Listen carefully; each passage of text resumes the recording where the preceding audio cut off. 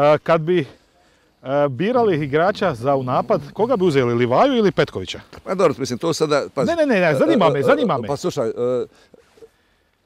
ja sam... Dobro mišljenje ja imate o Livaju, ja sam bio, ja sam bio, svaki ima dobro mišljenje o Livaju koji vraću kad je spreman i kad, kad može. Ja sam bio onda, onda ovaj, sa Igorom u Zagrebu kad je, i poslije sam vodio juniore kad je Mali Petković bio junior u, u Dragovoljca. U znači on je, on je sa Jakovom Čačom, on je dosta toga mm promijenio. Mislim, on je vidio onda da, je to, da će to biti vrhunski igrač. I on je na kraju se momak uputio u Italiju, tamo je prošao svega i svačega. Meni je drago da se vratio tu kao vrhunski igrač, jer mogu biti još bolji. Mogu je da neke stvari još, još popravi, we ovo što se tiče, znači i realizacije malo da bude tu malo konkretniji, mhm. da bude malo više motoričniji, to, to se stvari koje se mogle napraviti. Ali s ovim sada on je, on je isto sad vrhunski igrač. Znači igrač koji može napraviti preokret, koji može uvijek sa svojim potezom riješiti utakmicu, takav isti, isti, isti Marko Lovaja.